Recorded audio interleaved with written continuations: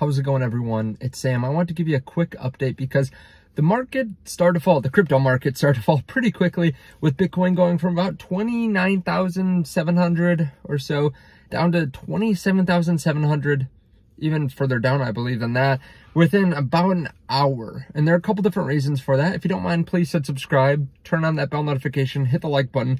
And if you want to know what I'm buying and selling, you can check out the link underneath the video to the Patreon. Now, I'm going to keep this short for you. This is my third video today and hopefully the last video, but Bitcoin made a big move and there are a couple different reasons. First of all, there are some reports that Mount Gox, uh, Mount Gox wallets and US government wallets are moving Bitcoin.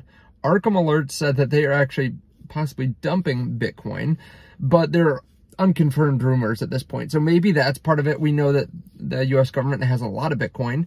The other thing is we have a huge amount of open interest that was wiped out within an hour, 300 million. And we're seeing crypto liquidations come in.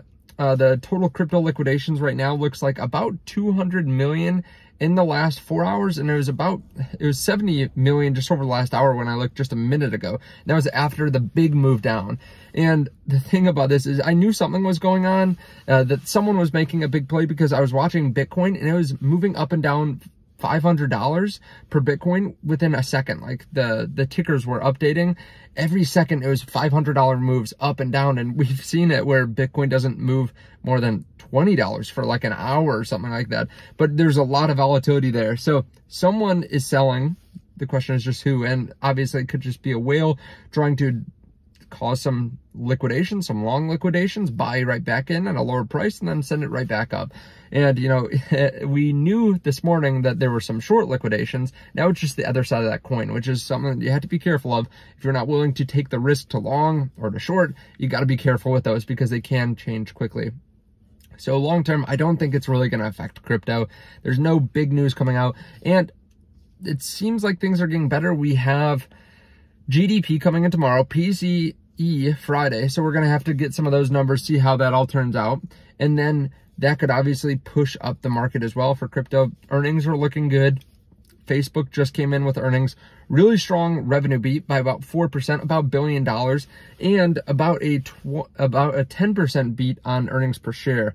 They also have strong guidance, Wall Street was expecting about 29.5 billion for Q2 and Facebook saying 29.5 to 32 billion in revenue. So upping the guidance essentially.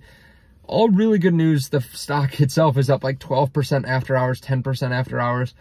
Tack that on to Microsoft, tack that on to Google, and we're looking at a pretty good earnings season. So I think that will definitely help out crypto. Let me know your thoughts in the comment section below. Let me know if you think Mount Gox wallets or the US government wallets are dumping Bitcoin. I would not be surprised if they took this chance, if the US government took this chance to wipe out some open interest and to send Bitcoin's price back down.